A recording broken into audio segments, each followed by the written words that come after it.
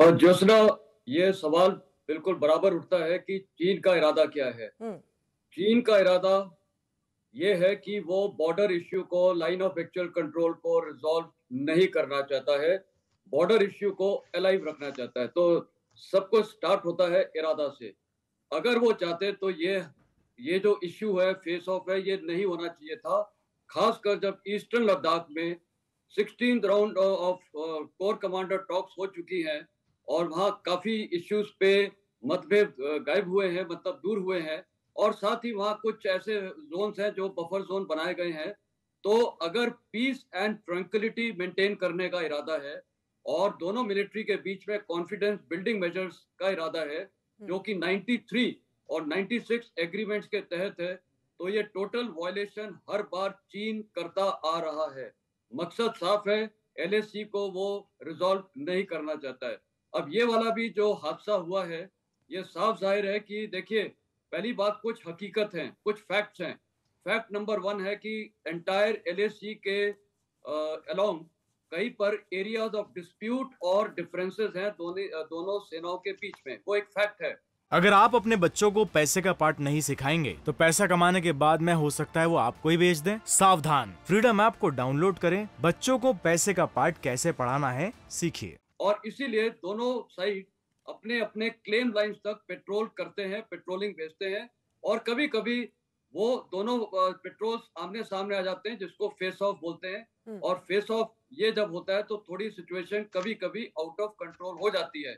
इस टाइम अ, तकरीबन 300 जवान के अधिक से ज़्यादा थे और वो तैयारी करके आए थे। जिस प्रकार आपने दिखाया है वो कुछ ऐसे हथियार टाइप कुछ चीज़ें लेके आए हैं। तो वो प्रिपेयर्ड थे कि ये फेस ऑफ़ के लिए तैयार थे और उनका इरादा था कि अगर फेस ऑफ़ होता है तो वो इंडियन ट्रुप्स पे कैजुअलिटी करेंगे। दूसरी एक और चीज़ समझने वाली बात है कि जितने भी आज तक फेस ऑफ़ हुए हैं, दोनों साइड के पास हथियार होते हैं।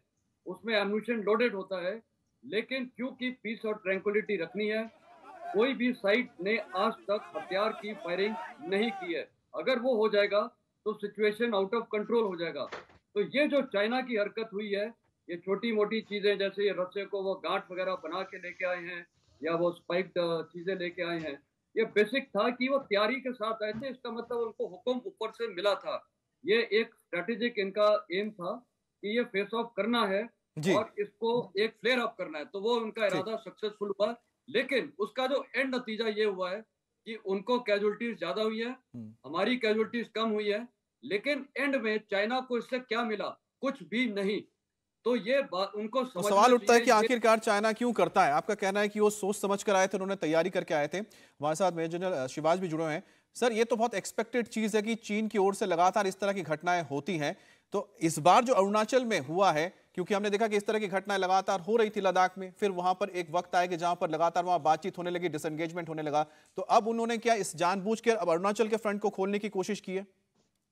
हाँ बिल्कुल। देखो, अमित, इसको ऐसे देखना पड़ेगा, ये सच्चाई है कि जो हालात अब चीन के अंदर हैं, वो इकोनॉमिकली भी बहुत हालात खराब हैं। वहाँ पर ज़ीरो कोविड पॉलिसी के अगेंस्ट लोग आ रहे हैं सड़कों पे। इन्फ्लेशन रेट डबल फिगर से ज़्यादा है और उसके बाद वो आइसोलेट हो रखे हैं। तो कहीं ना कहीं अभी सी जिनपिंग अंडर प्रेशर है और वो डाइवर्ट करना चाहते हैं अटेंशन उसके पास दो ऑप्शन है. या तो कहीं ना कहीं ताइवान की तरफ़ एक प्रकार टेंशन पैदा करें या लद्दाख की तरफ़ से लेके अरुणाचल भारत के साथ. ताइवान पे उनको बड़ा मुश्किल है क्योंकि अभी दो एयरक्राफ्ट कैरियर ग्रुप जो है, अमेरिका ने साउथ चाइना सी में लगा रखे हैं यूएसएस लिमिटेड यूएसएस रोलर निगल तो मुझे लगता है कि वो भारत की तरफ़ कुछ ना कुछ टेंशन पैदा करके अपनी पब्लिक का डाइवर्ट करना चाहते हैं ध्यान, और वो इसीलिए ये कार्रवाई कर रहे तो अब क्वेश्चन आता है तवांग सेक्टर क्यों? देखो तवांग सेक्टर एक बहुत इंपॉर्टेंट है। मैंने यहाँ पर पल्टन कमांड की है। मैं आपको ये बताता हूँ कि इसकी वजह क्या है। जो यांग से जगह है, वो सत्रह हज़ार फीट से ऊपर है।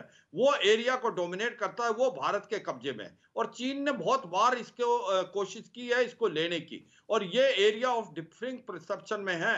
ये मैं मानता हूँ। कि दोनों तरफ़ उस इलाके को अपना मानते हैं, मगर ये हमारे कंट्रोल में है और हम वहाँ डोमिनेट कर रहे हैं। चीन का इरादा है किसी तरीके से वहाँ वो फुट होल्ड ले और उसकी वो कोशिश करते रहते हैं। अगर आप अपने बच्चों को पैसे का पार्ट नहीं सिखाएँगे तो पैसा कमाने के बाद में हो सकता है वो आपको ही बेच दें। सावधान फ्रीडम ऐप को डाउनलोड करें। बच्चों को पैसे का पार्ट कैसे पढ़ाना है, सीखिए।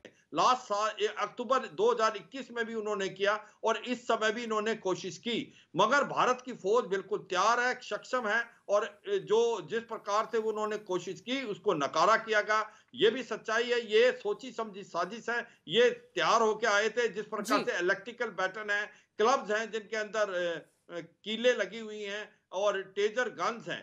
तो ये आपको समझना पड़ेगा ये कोई वन ऑफ़ द इंसिडेंट नहीं है हम्म। ये सोच समझ के चीन कार्रवाई करता है और ये बात हमको छह महीने पहले पता थी कि चीन कुछ ना कुछ लद्दाख के अलावा भी दूसरे इलाकों में करेगा और ये अमेरिका ने भी। हमको इंटेलिजेंस इनपुट दिए थे कि वो हो सकता है अरुणाचल प्रदेश में करे क्योंकि उसका जो इंफ्रास्ट्रक्चर था वो ज़्यादा बिल्डअप कर रहा था अरुणाचल के अगेंस्ट वहाँ पर उसने गाँव भी बना दिए थे एलएसी से, जो कि गाँव नहीं डिफेंडेड लोकेलिटी हैं हेलीपैड बनाए एयरफील्ड बनाए, वहाँ पर उन्होंने अपना सबसे बड़ा लॉजिस्टिक बिल्डअप किया है तिब्बत ऑटोनमस रीजन में।